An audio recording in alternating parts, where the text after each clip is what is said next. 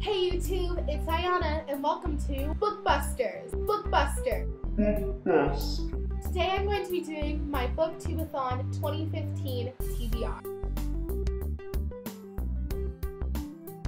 And if you do not know what Booktubeathon is, I will have a link down below to their channel and you can click right here on my face. So without further ado, I'm going to go straight into what I am reading. The first book I am reading for Booktubeathon is The Fault in Our Stars by John Green. I have already read this book, but it's been a while and I really, really want to reread it.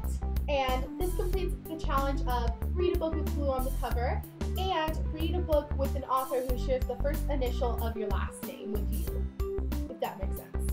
For example, my last name starts with a G his last name starts with G. This is the first book I'm going to be reading. The next book I'm going to be reading is All But Alice by Phyllis Reynolds Naylor. Chloe made a deal a while ago that she would read the Harry Potter series if I read the Alice series, so I'm trying to get them done.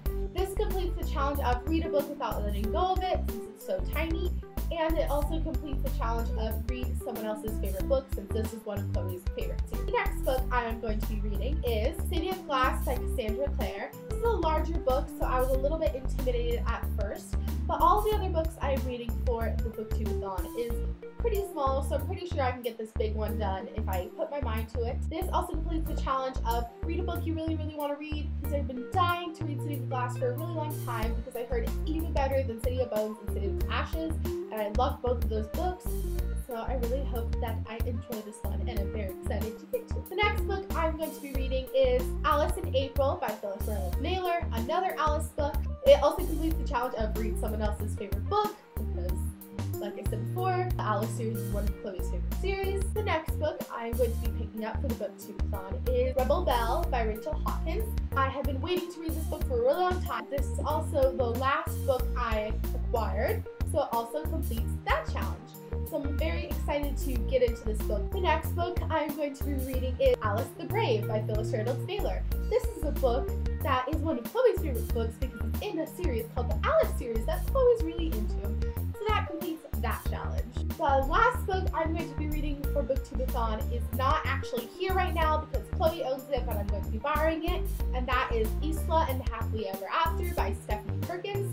Insert a photo.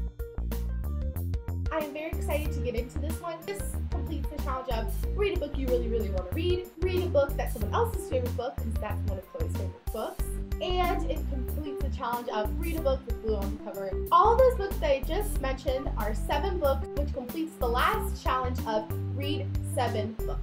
So the rest of these books are if I have some extra time and so I can pick up some other books, or if I'm just not feeling one of the books that I set out to read. These books are Second Chance Summer by Morgan Matson, My Life Next Door by Huntley Fitzpatrick, Shatter Me by Tahereh Mafi, The Iron Trial by Holly Black and Cassandra Clare, Brown Girl Dreaming by Jacqueline Woodson, Legend by Marie Lu, and Delirium by Lauren Oliver. So thank you so much for watching my Booktubeathon TBR. I hope you've enjoyed this video and look forward to seeing the Booktubeathon videos coming up soon. Chloe will also be doing this. Her TBR will be up soon. Make sure to comment, like, and subscribe and tell us what kinds of videos you would like to see on Bookbusters. Thanks for watching. Bye!